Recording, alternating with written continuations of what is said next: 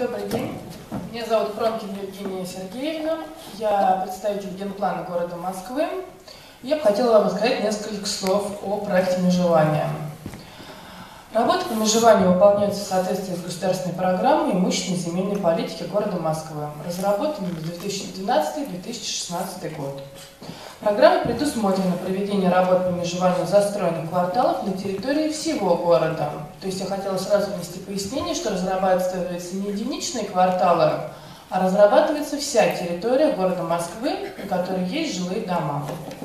Департамент городского имущества города Москвы является государственным заказчиком работ по разработке проектов межевания. Несколько слов. Что такое межевание? Межевание – это комплекс работ по установлению и определению границ и площади земельных участков. Очень важно понимать, что никакая строительная деятельность проекта межевания не регламентируется. Межевание необходимо для документального закрепления территории за жилыми домами и иными объектами.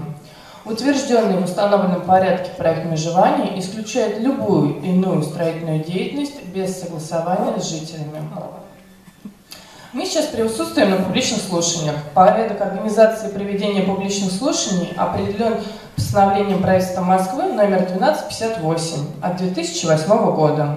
Публичные слушания являются основной стадией согласования проекта межевания. Основная цель публичных слушаний – это внесение возможных предложений жителям квартала в проект межевания. И если у кого-то из вас есть предложения по уменьшению, увеличению, изменению границ земельных участков, самое время их либо озвучить, либо записать в протокол.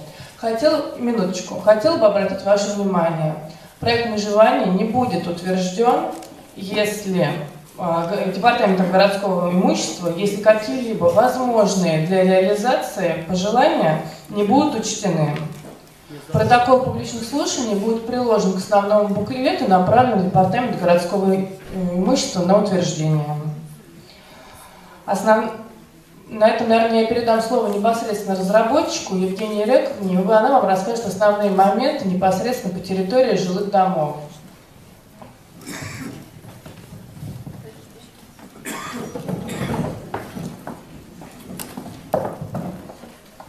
Добрый вечер. А, я могу сказать вам о том, каким домам у нас не получилось выделить по нормативу а, земельные участки. Наверное, начну с этого. Это самый а, такой вопрос у нас, который интересует больше жителей.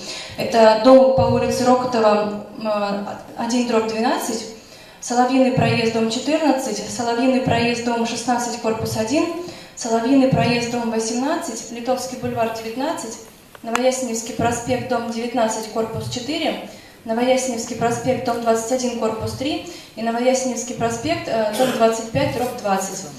А, такая ситуация сложилась в силу, э, в силу планировочной структуры квартала, но также имелись э, вопросы по оформленным земельным имущественным отношениям на некоторые участки, которые ограничили территорию именно жилого дома.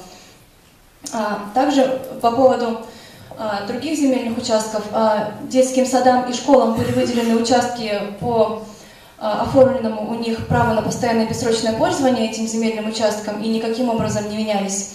Также были выделены земельные участки ТП и ЦТП детским площадкам, которые невозможно отнести к территории какого-то одного жилого дома. И также выделена территория общего пользования, которая является территории эм, э, пользования жителей всего квартала, также района. Далее могут последовать ваши замечания, вопросы, пожелания. Спасибо. Мы сейчас перейдем к вопросам. Значит, единственное, вы еще раз поясните, ну просто, может быть, не все как бы по цветам там э, себе да, представляют, что какими цветами выделено, чтобы э, тоже так, было значит, понятно. У нас вот таким цветом светло-розовым, можно сказать, это придомовая территория, то есть территория жилых домов. А, вот таким розовым цветом это территория детских школ и, ой, школ и детских садов. А, вот, а, вот этим цветом зеленоватым это территория административных зданий, строений, сооружений, то есть нежилых объектов.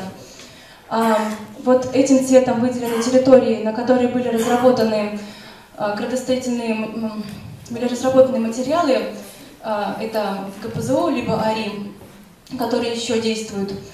И вот я, самым ярким цветом показаны как раз территории общего пользования. Теперь все. Спасибо. Итак, мы э, уложились в заявленный регламент, э, поэтому переходим э, к вопросам и выступлениям. Значит, я просто привлекаю ваше внимание. В помощь вам работают сотрудники, чтобы удобно было с двух сторон. Э, Для того, просто просьба поднять руку, мы предоставим возможность для э, вот даме, потом вот вам. А вы так распределите, чтобы вам удобнее было ходить.